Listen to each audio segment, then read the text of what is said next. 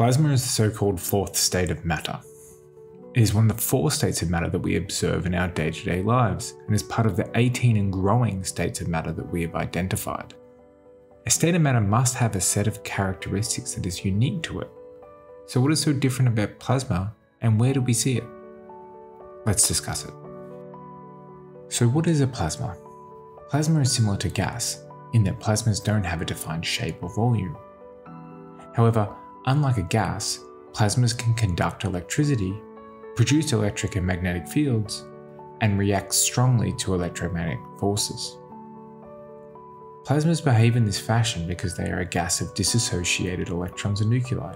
That is, plasma is an ionized gas.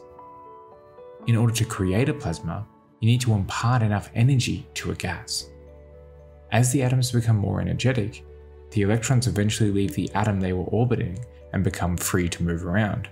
This creates a sea of free electrons and positive nuclei. It is these charges that can conduct electricity and react to electromagnetic forces.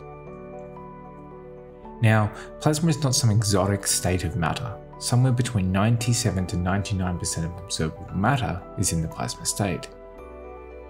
This is because stars are in fact made of plasma, as are large interstellar bodies like nebula.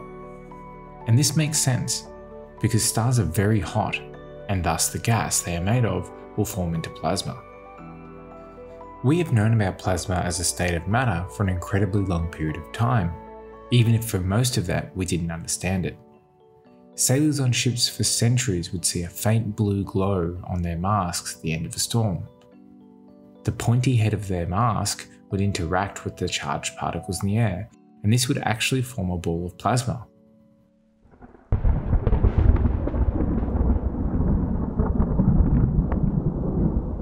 These same charged particles in the air during storms are what lead to the formation of lightning, which is actually a trail of plasma that is discharged to the ground. In 1879, a scientist called William Crookes invented what is now known as the Crookes tube, which is a glass vacuum tube that still had some gas inside and two electrodes, which he could use to ionize the gas. When the pressure was low enough, he observed a faint glow. He described this as radiant matter. It wouldn't be referred to a plasma until much later. This technology is actually the basis for a later technology, the cathode ray tube, or known to many of us as the CRT, the technology for screens before liquid crystal displays. Then in 1897, J.J. Thomson, who won the 1906 Nobel Prize in Physics for discovering the electron, correctly identified what radiant matter was a gas of charged ions. Despite knowing the true nature of plasma, it wasn't until 1928 that radiant matter would finally get its name from the scientist Irving Langmuir. He gave it this name because it reminded him of cells in blood plasma. Plasmas are not just some state of matter that can be observed, we use them all the time. From old TV screens to neon signs to arc welders and many more.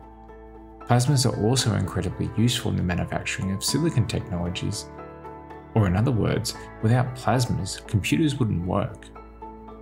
This isn't because you have a plasma in your computer or phone, but more that without it, making the processes would be much harder.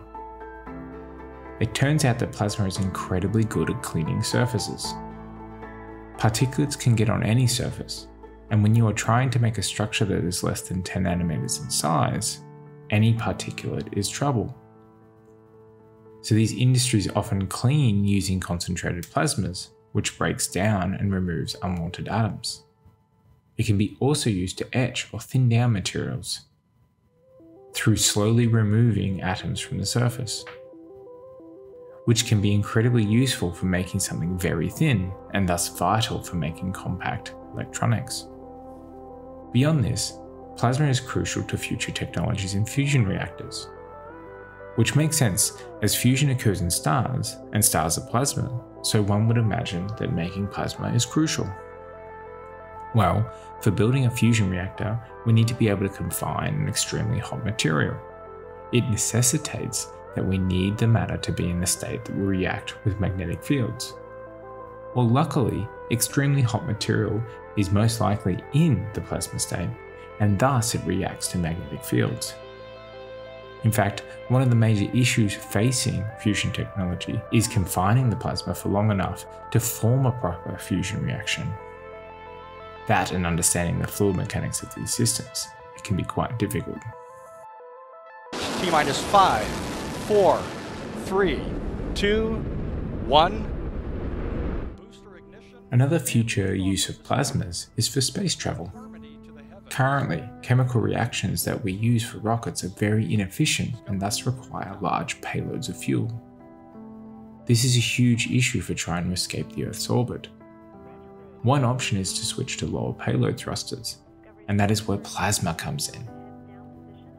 This type of thruster works by first producing a plasma and then accelerating it out of the back of the jet. This is not particularly useful for getting out of orbit yet, as current designs for plasma thrusters work significantly better when in vacuum.